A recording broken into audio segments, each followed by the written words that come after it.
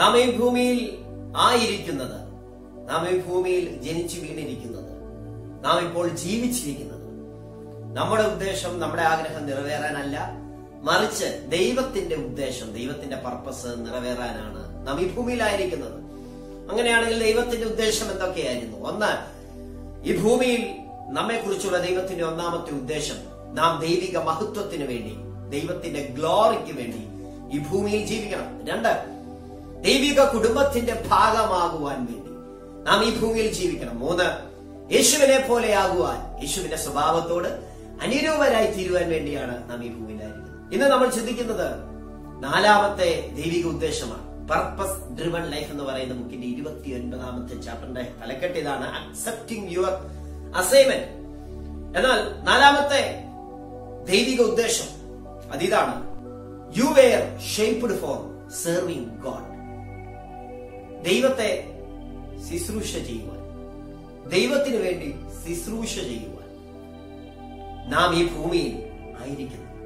അങ്ങനെ ദൈവത്തിന് ശുശ്രൂഷ ചെയ്യുവാൻ ഈ ഭൂമിയിലായിരിക്കുമ്പോൾ ആ ഭൗത്യം ആ ശുശ്രൂഷ ആ കാര്യം ആ കർത്തവ്യം നമ്മൾ അക്സെപ്റ്റ് ചെയ്യുക നമ്മൾ അംഗീകരിക്കുക എന്നുള്ളത് അക്സെപ്റ്റിംഗ് യുവർ അസൈൻമെന്റ് യേശുവിൽ വിശ്വസിക്കുന്ന ഓരോ വ്യക്തിക്കും ഓരോ ക്രിസ്ത്യാനിക്കും ഓരോ സ്പെസിഫിക് റോളും നിങ്ങൾക്ക് നിങ്ങളുടേതായ കോൺട്രിബ്യൂഷനും അത് യുണീക്കാണ് നാം ഈ ഭൂമിയിലായിരിക്കുന്നത് ഈ ഭൂമിയിൽ നിന്നുള്ള റിസോഴ്സസുകളെ കൺസ്യൂം ചെയ്ത് ഉപയോഗിച്ച് വെറുതെ ജീവിച്ചു പോകാനല്ല മറിച്ച് നമ്മുടെ ഉള്ളിൽ നിന്ന് പുറത്തോട്ട് എന്തെങ്കിലും വരണം അത് നാം മറ്റുള്ളവരെ സെർവ് ചെയ്യും നമ്മുടെ കൂടെയുള്ള വിശ്വാസികളെ സെർവ് ചെയ്യും മറ്റു മനുഷ്യരെ സെർവ് ചെയ്യുമ്പോൾ ഓർക്കുക നാം ദൈവത്തെ സെർവ് ചെയ്യുകയാണ് ദൈവത്തിന് ശുശ്രൂഷ ചെയ്യുക അപ്പൊ ദൈവത്തിന് ശുശ്രൂഷ ചെയ്യുന്നതിന്റെ കാരണങ്ങൾ എന്തൊക്കെയാണെന്നാണ് നമ്മൾ ചിന്തിക്കാൻ പോകുന്നത് ഒരു നാല് കാരണങ്ങൾ പറയും ഈ ഒരു ചാപ്റ്ററിൽ ഈ ഒരു വീഡിയോയിൽ അതിന്റെ ഒരു ജസ്റ്റ് ഒരു ആമുഖം മാത്രമേ നമ്മൾ പറയുകയുള്ളൂ ഒന്നാമത്തെ കാര്യം you were created to serve God ദൈവത്തെ ശുശ്രൂഷ ചെയ്യുവാൻ ദൈവത്തിന് വേണ്ടി ശുശ്രൂഷ ചെയ്യുവാൻ വേണ്ടി നാം സൃഷ്ടിക്കപ്പെട്ടിരിക്കുന്നു എന്നുള്ളത് ഒരു വാക്യം വായിക്കാം എഫ് എസ് ലേഖനം രണ്ടാം അധ്യായത്തിന്റെ പത്താം വാക്യം ഇങ്ങനെ വായിക്കുന്നു നാം അവന്റെ കൈപ്പണിയായി സൽപ്രവർത്തികൾക്കായിട്ട് ക്രിസ്തുവേശുവിൽ സൃഷ്ടിക്കപ്പെട്ടവരാകുന്നു നാം ചെയ്തു പോരേണ്ടതിന് ദൈവം അവ മുന്നൊരുക്കിയിരിക്കുന്നു അപ്പം സൽപ്രവർത്തികൾ ചെയ്യുക എന്നുള്ളതാണ് നമ്മുടെ ജീവിതത്തെ കുറിച്ചുള്ള ദൈവത്തിന്റെ ഉദ്ദേശം ഡൂയിങ് ഗുഡ് സൽപ്രവർത്തികൾ ചെയ്യുക മറ്റുള്ളവരെ സഹായിക്കുക ഓരോ വ്യക്തികൾക്കും ഓരോ സ്പെസിഫിക് ആയിട്ടുള്ള റോളുണ്ട് അത് വളരെ ഇമ്പോർട്ടന്റ് ആണ് അത് നാം ഓരോരുത്തരും തിരിച്ചറിഞ്ഞ് നമ്മെ ദൈവം അതിനു വേണ്ടിയാണ് സൃഷ്ടിച്ചിരിക്കുന്നതെന്ന് നാം മനസ്സിലാക്കും രണ്ടാമത്തെ കാര്യം you were saved to serve God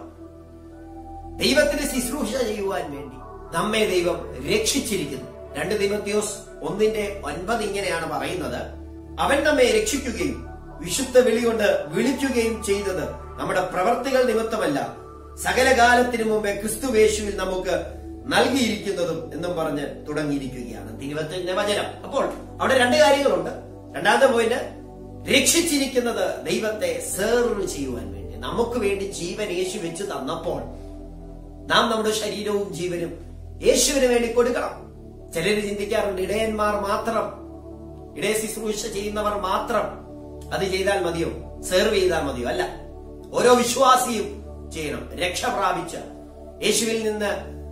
രക്ഷ പ്രാപിച്ച യേശുവിൽ വിശ്വസിക്കുന്ന ഓരോ വ്യക്തികളും ദൈവത്തെ സെർവ് ചെയ്യണമെന്ന് നാം മനസ്സിലാക്കണം അത് യുണീക് ആണ് അത് സ്പെസിഫിക് ആണ് എന്ന് തിരിച്ചറിയണം മൂന്നാമത്തെ കാര്യം you are called to serve God ഒന്ന്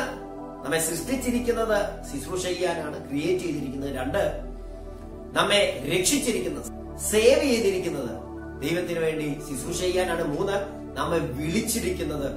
ദൈവത്തിന് വേണ്ടി ശുശ്രൂഷ ഇവിടെ വായിച്ച രണ്ട് ദൈവത്യോസിന്റെ ലേഖനം ഒന്നാമധ്യയവും ഒമ്പതാം വാക്യത്തിൽ അവിടെ പറയുന്നുണ്ട് നിങ്ങളെ വിളിച്ചിരിക്കുന്നത് അതിനു വേണ്ടിയാണ് ചിലർ പറയാറുണ്ടോ ഞാൻ മുഴുവൻ സമയം ദൈവവേല ചെയ്യുവാൻ വേണ്ടി എന്നെ വിളിച്ചിട്ടുണ്ട് ഞാനിപ്പോ ഫുൾ ടൈം മിനിസ്ട്രി ആണെന്നും പറഞ്ഞ് ജീവിതം മുഴുവൻ അതിനുവേണ്ടി മാറ്റിവെക്കുന്നവരുണ്ട് അത് നല്ല കാര്യമാണ് പക്ഷേ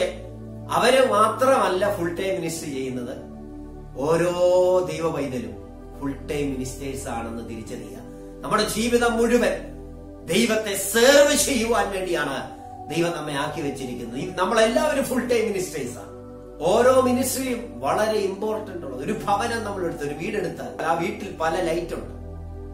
നിങ്ങളുടെ സ്വീകരണ മുറിയിൽ വെച്ചിരിക്കുന്ന വില കൂടിയ ലൈറ്റ് അത് എപ്പോഴും നിങ്ങൾ ഓണാക്കത്തില്ല പക്ഷേ അത് എപ്പോഴും നിങ്ങൾക്ക് ഉപയോഗമില്ല പക്ഷെ നിങ്ങളുടെ ബെഡ്റൂമിലുള്ള ചെറിയ ലൈറ്റ് നിങ്ങൾക്ക് വളരെ ഉപകാരമാണ് എന്ന് പറയുന്നത് പോലെ ഓരോ വ്യക്തിക്കും അവരുടേതായ സ്പെസിഫിക് റോളുണ്ട് ഓരോ വ്യക്തിക്കും ദൈവം ഏൽപ്പിച്ചിരിക്കുന്ന ശുശ്രൂഷ വളരെ ഇമ്പോർട്ടന്റ് ആണ് മിനിസ്ട്രി വളരെ ഇമ്പോർട്ടന്റ് ആണ് അവർ ചെയ്യുന്ന സർവീസ് വളരെ ഇമ്പോർട്ടന്റ് ആണെന്ന് തിരിച്ചറിയണം അടുത്തത് നാലാമത്തെ കാര്യം you are commanded to serve God നമ്മളോട് കൽപ്പിച്ചിരിക്കുന്നത് ദൈവത്തെ സെർവ് ചെയ്യാൻ യേശു പറഞ്ഞു മനുഷ്യപുത്രൻ ശുശ്രൂഷ ചെയ്യിപ്പിക്കാൻ വന്നതല്ല ശുശ്രൂഷിപ്പാലും അനേർക്ക് വേണ്ടി തന്റെ ജീവനെ മറുപടിയായി കൊടുക്കാനും അതേ കാര്യം ഫിലിപ്പിയ ലേഖനത്തിൽ പൗലോസ് പറയുന്നത് ക്രിസ്തുവിന്റെ ഭാവം തന്നെ ആ ആറ്റിറ്റ്യൂഡ് തന്നെ നിങ്ങൾക്കുണ്ടാവും ദൈവം കമാൻഡ് ചെയ്തിരിക്കുക നിങ്ങളെ ശുശ്രൂഷ ചെയ്യുവാൻ വേണ്ടിയാണ് ദൈവം ആക്കി വെച്ചിരിക്കുന്നത് ദൈവത്തിന്റെ കൽപ്പനയാണ് ഗലീല കടലുണ്ട് ചാവുകടലുണ്ട് ഗലീല കടലിന്റെ പ്രത്യേകത ഗലീല കടലിൽ ജീവനുള്ള മത്സ്യങ്ങളുണ്ട് എന്നാൽ ചാവുകടലിൽ ഒന്നും തന്നെ ഇല്ല എന്താണ് കാരണം ഗലീല കടലിന്റെ പ്രത്യേകത അവിടെ ഒഴുക്കുണ്ട് അവിടുത്തെ വെള്ളം കെട്ടിക്കിടക്കുന്നില്ല പുറത്തോട്ട് ഒഴുകിപ്പോകുന്നുണ്ട് പുതിയ വെള്ളം ഒഴുകി വരുന്നുണ്ട് ഒരു ഒഴുക്കുണ്ടാവും നിന്ന് വെള്ളം പുറത്തോട്ട് പോകുന്നുണ്ട് അതുകൊണ്ട് ജീവനുള്ള ജന്തുക്കൾ അതിനകത്തുണ്ട് മത്സ്യങ്ങൾ അതിനകത്തുണ്ട് എന്നാൽ ചാവുകടലിനകത്ത് ഒഴുക്കില്ല വെള്ളം കെട്ടിക്കിടക്കുക അതുകൊണ്ട് ജീവനുള്ളതൊന്നും ആ കടലിലില്ല എന്ന് പറയുന്ന പോലെ നമ്മുടെ ഉള്ളിൽ നിന്ന് പുറത്തോട്ട് പോകണം നമ്മുടെ പ്രവർത്തികൾ പുറത്തേക്ക് വന്നെങ്കിൽ മാത്രമേ നമ്മുടെ ഉള്ളിൽ ജീവൻ വ്യാപരിക്കത്തുള്ളൂ ഓർക്കുക നിത്യജീവന് വേണ്ടി നിത്യതയ്ക്ക് വേണ്ടി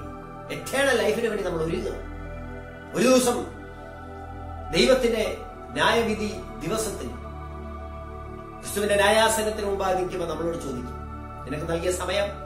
നീ എന്നെ സേർവ് ചെയ്യാൻ വേണ്ടി ഉപയോഗിച്ചോ അത് എന്നിൽ നിന്ന് നന്മകൾ മാത്രം പ്രാപിച്ചുകൊണ്ട് നീ മുൻപോട്ട് പോയി നമ്മളപ്പോൾ പറയാൻ പറ്റത്തില്ല ഞാൻ ഭയങ്കര ബിസിയായിരുന്നു ഒന്നും പറയാൻ പറ്റത്തില്ല ദൈവം നമ്മളോട് ചോദിക്കും നിത്യതയ്ക്ക് വേണ്ടി ഒരു ഒരുക്കമായി ഇത് മാറട്ടെ ഈ ഭൂമിയിൽ എത്ര നാൾ ജീവിച്ചു എന്നുള്ളതല്ല പ്രധാനപ്പെട്ട കാര്യം ജീവിച്ച കാലം